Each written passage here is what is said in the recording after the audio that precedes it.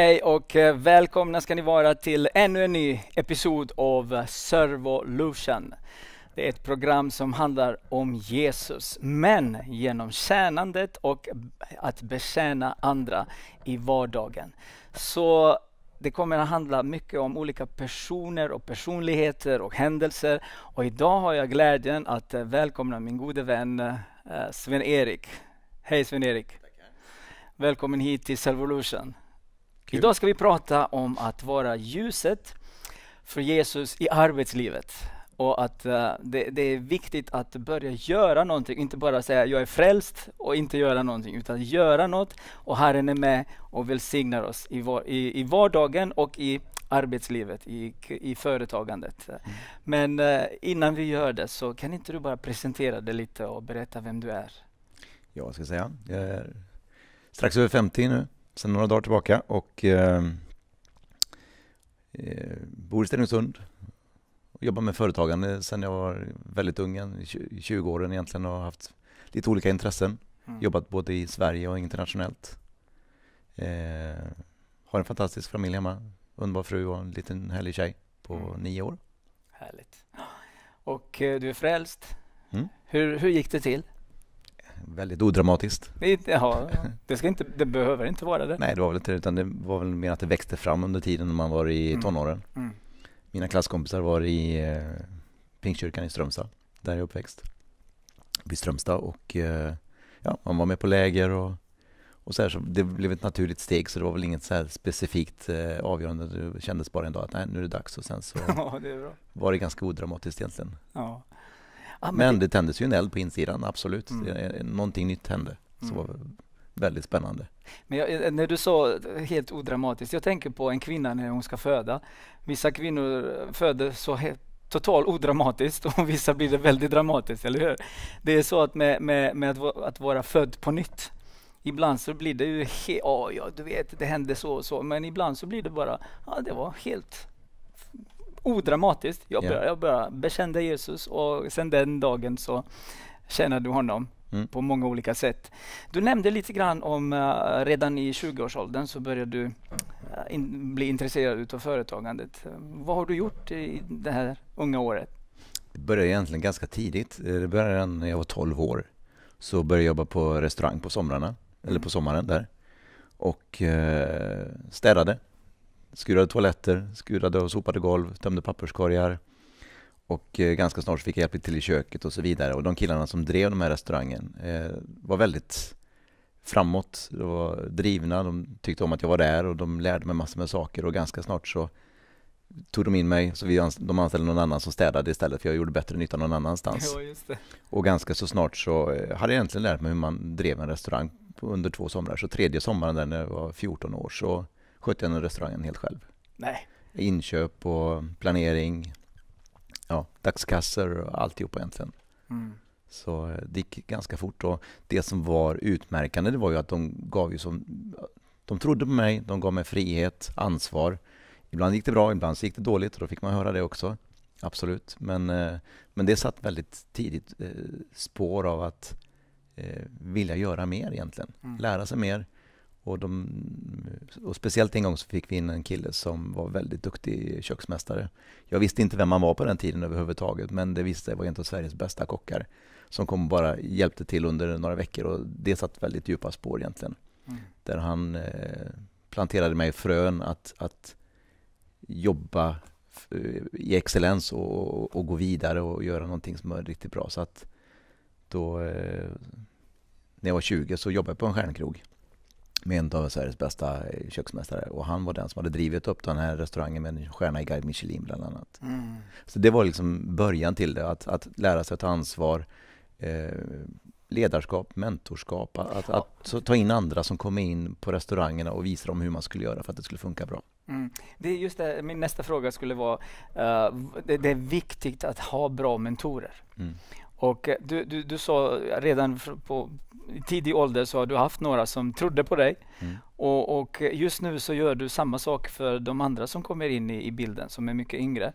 Och, och eh, hur många eh, gånger och hur många mentorer har hjälpt dig under, under tiden? Jag vet inte hur många mentorer det kan vara. Det kan vara många.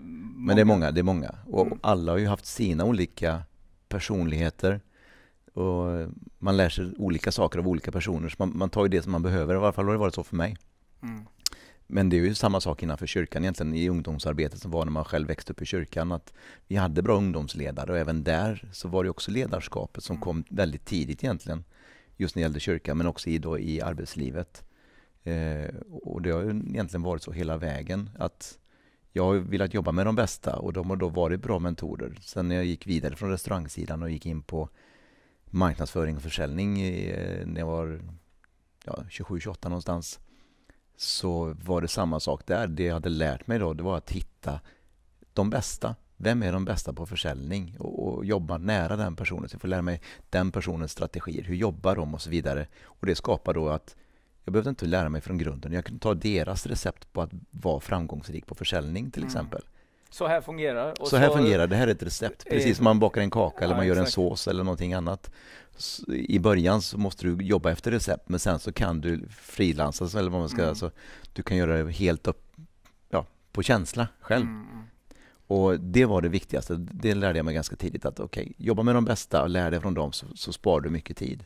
Ja, men det, det du sa, det, det är verkligen eh, så sant för att Herren har sak- sagt också i sitt ord, lär av mig. Mm. Och vem är vår bästa lärare, vår bästa mentor, vår bästa...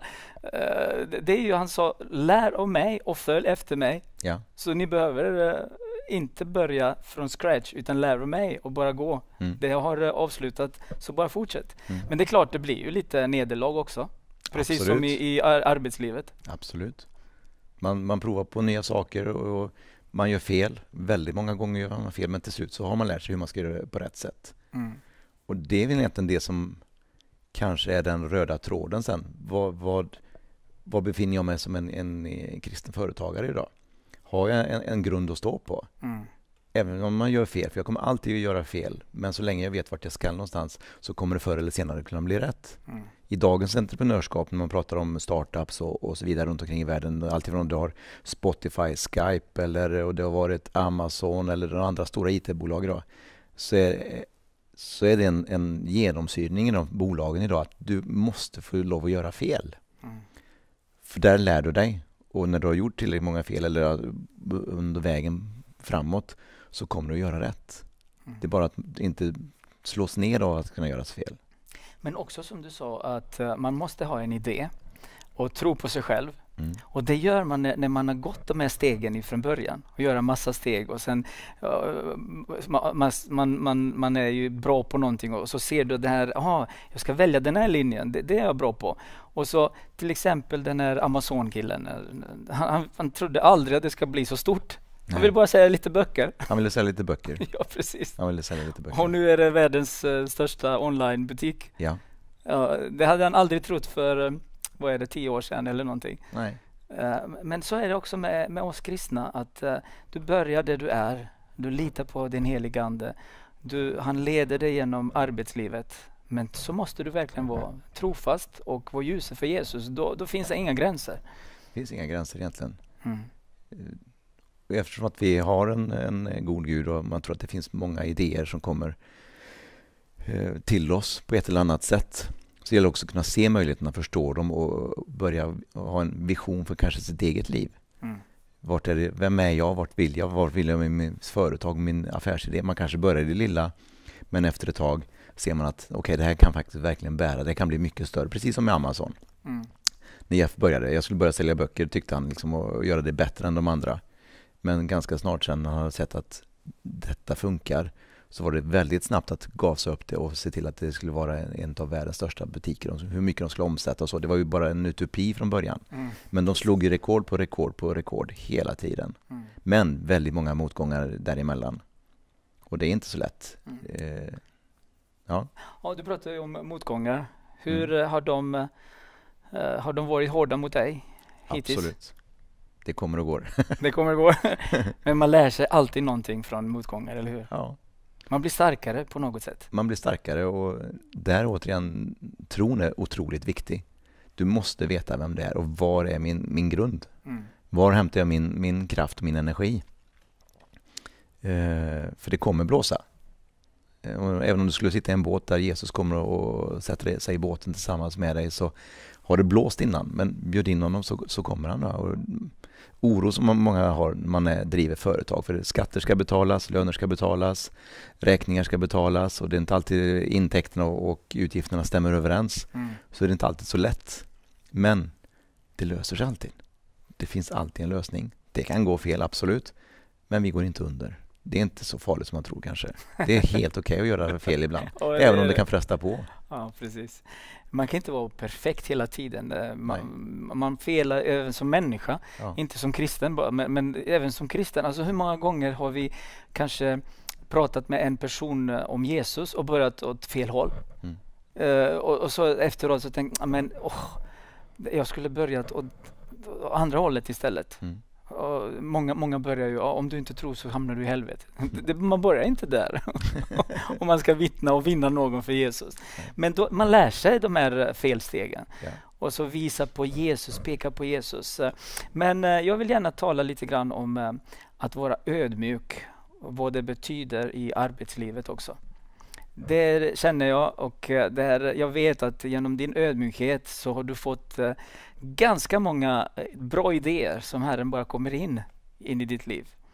Det är ju, det är ju väldigt, väldigt intressant att se dig och, och, och prata med dig. För just nu så vet jag att det är många uh, företag och många personer runt omkring. Ah, jag kan ringa Sven-Erik, han har bra idéer.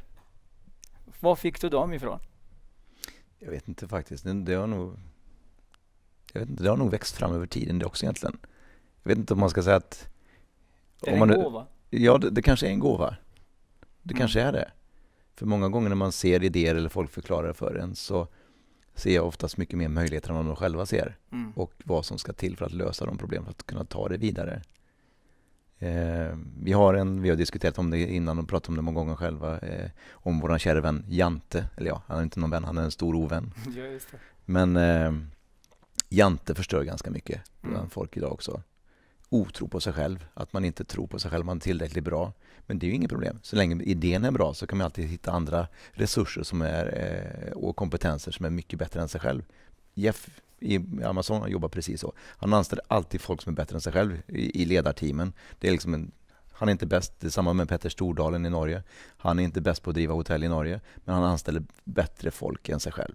Och det är en stor nyckel egentligen. Att Ska man bygga företag eller kring idéer så, måste, så sitter man inte på alla svar själv. Man måste hitta andra som kan komma in och eh, tillföra, var, och tillföra de kompetenser mm. som saknas. För att annars kommer man aldrig komma igenom hela vägen. Man kan inte växa. Nej. Och man har ju begränsningar i sig själv. Ja. Och så och kommer så... någon annan och bara, men vi kan göra så och så och bara, tjo, mm. då blir det ju andra vyer Det är samma sak innanför sport. Ta Zlatan eller ta vem du vill där. Inom all lagsport så är det också så. Du kan inte bara ha en spelare som är bra, utan du måste ha ett team runt omkring som kan olika saker, som har sin givna roll och plats i laget för att de ska tillsammans kunna prestera och vinna sitt lopp eller sin match. Mm, mm. Men ödmjukheten och ta hand om den gåvan eh, och vara ödmjuk inför den. Det, och det får inte finnas någon prestige heller egentligen. Många jobbar i att det ska vara prestige i allting man gör. Det är också en sak som förstör i många bolag. Men att vara ödmjuk och, och ändå eh, rätt fram och självklart och vara målinriktad. Det, det är helt olika saker men, men eh, ja. Jo men det hjälper väldigt mycket. För, mm. för precis som vi pratat eh, innan också. Jesus kom för att betjäna. Mm. Han kom inte bara för att säga nu ska ni, eh, så, här gör jag och så bara nu ska ni alla vara slavar. Nej, han sa jag, bör, jag böjer mig ner och är slav till er. Mm. Och kommer man till den här punkten att jag vill verkligen hjälpa andra. Och tänk, tänk dig bara en, en, en ung kille kommer till dig och så Sven-Erik, kan inte du hjälpa mig med, jag har den här tanken och så. så. Och så säger du bara, det kommer aldrig funka. Istället för att uh, kanske ta den tiden, ödmjuka dig på hans nivå och börja lära honom mm. på den här rätta vägen. Det, det, det, det, är ju väldigt normalt för dig. Och du har gjort det så många gånger. Ja, det har jag gjort. Mm. Och det, det, är en träning i det. Det, det, det är inte alltid helt enkelt. Nej. För väldigt snabbt så kan man också säga att det här är ingen hållbar idé och då, då får man ju säga det på rätt sätt. Mm. Men det kanske finns någonting någonstans som man också måste inspirera om att titta vidare och sträcka sig kanske åt någonting annat för att så länge det finns en längtan av att göra någonting någonstans, att förverkliga en, en dröm, att driva sitt eget företag, så finns det tusentals med idéer idag. Det mm. finns obegränsat med saker man kan göra. Där, eh, det finns inget stopp egentligen. Utan, men det handlar om att hitta rätt sak som kan ha en hållbarhet. Mm. Och det är ju också, uh, vi kan ju uh, switcha lite till mm. någonting som många kristna gör idag. Och då är det att begränsa Gud. Mm. Det, man, det, kan man inte göra om, om, man, om man vill verkligen... Uh, för, för det första, man kan inte förstå Gud. Han är så mycket större än våra idéer. Men många har den här tendensen att göra en sån där fyrkant och bara, Gud, du kan göra bara det och det. Mm. Men sen kommer någon som du säger, men du begränsar inte Gud, tro på, no på någonting större. Mm. Hur, hur, hur är det med, med dessa människor? Hur kan, man, hur kan man hjälpa de människorna som vill begränsa Gud? Det behöver inte vara att de ska begränsa Gud, utan man begränsar sig själv. Mm. För att jag tror att om du vill göra någonting om du ska göra det innanför dina egna ramar av det här är vad jag kan kontrollera och, och, det här är vad jag kan klara av. Då behöver du inte Gud. Du måste ha en större, eller ta bort ramarna och, och, och den här boxen eller lådan som många tycker om att prata om. Ta bort det begränsade tänkandet och se vad, vad, vad, vad skulle jag kunna göra med det här? Istället för att bara att vi ska driva vårt lilla företag här i Stenungsund, men det kanske ska vara över hela Sverige, Skandinavien, Europa eller hela världen. Så, och det har jag sett många gånger att många kommer med eh, idéer som skulle kunna vara internationellt gångbara. Men man har bara tänkt i det lilla och när man tänker i det lilla så finns det väldigt lite utmaningar egentligen. För du kommer bara till en viss nivå. Det, det är inte så stor press på dig. Eh, och diamanter görs ju under väldigt högt tryck. Mm. Säger inte att alla kanske är diamanter så, men när du sträcker dig och du gör någonting som blir mycket större än dig själv, då är du beroende av Gud. Mm. Du är beroende av någon som hjälper dig och som visar dig eh, vägen egentligen. För det är så många saker som ska på plats. Så vill man leva där eller vill man leva i trygghet så är det två helt olika sätt att jobba egentligen. Vill jag jobba i den lilla lådan så kan jag göra det. Det kommer hända saker där som är bra och det kommer hända saker som är dåligt där också. Men det kanske inte kommer bygga min tro så jättehårt över tid. Mm. För det finns inte så stora utmaningar. Nej, man behöver utmaningar för ja. att uh, tron ska växa. Ja. Uh, motgångar också behövs mm. uh, för att också tron ska slipas. Ja. karaktär. Mm. I dagens samhälle så, så handlar det väldigt mycket om karaktären. Mm. Vad är det som, som har gjort, vem, vem har slipat din karaktär? Det har ju också skett över tiden, genom alla år när jag växte upp och de företag och mentorer som man har haft. Men också självklart utifrån där man är uppväxt i kyrkan och den tron som man har burit med sig. Det har ju varit en kompass. Mm. Det finns många som man har sett och som man har umgåtts med som har haft helt andra värderingar. Man kan jobba tillsammans med dem, man kan vara ett team och så vidare och jobba men jag behöver inte anamma deras förhållningssätt eller deras karaktär eller tro eller värderingar som man har. Det kan skilja sig väldigt brett ibland. Men det gäller ju att veta vem man är och, och vara trygg i sig själv. Mm. Jätteviktigt. Jo, för det blir ju också när man bygger ledarskap för andra. Att, att jag kan stå för den som jag är som gör att jag inte blir, är en chef som bossar och trycker ner andra och liksom sparkar. Utan jag kan vara en ledare istället som visar vägen och går tillsammans med dem istället. Det är väldigt stor skillnad på att mm, jobba. Mm. Ja, precis. Men, men eh, det, det, är just det att uh, veta vem Herren är i våra liv. Mm. Det, man måste verkligen ha den här nära kontakt med Jesus mm. för att du ska bli trygg. Ja. Du ska vara trygg i det du gör och så kommer Herren bara att leda dig. Mm. Och då blir man trygg i, även i hans ledning. Mm. Och många gånger ber vi bara Herre, här är jag, sänd mig. Men Herre säger, men följ efter mig. Eller hur? Ja. Det är lätt att bara säga sänd mig, vad, vad ska jag gå? Men följ efter mig, säger Gud. Ja. Så i, i det, det, vi gör och vi strävar efter, vi måste ju säga, oh, här, jag, jag, jag vill verkligen veta vad är det för uh, din vilja i mitt liv? Ja.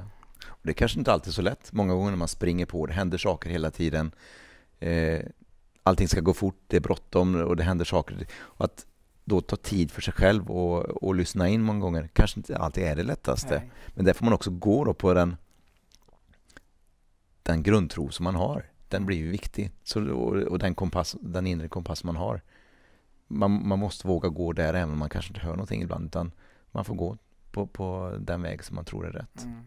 Tänk, tänk eh, nu när du berättar eh, om, om eh, olika idéer så, så, så blir jag påmind det här händelsen i Bibeln när Laban lurade Jakob på, på allt möjligt. Och så säger Gud till honom, men du ska bli rik.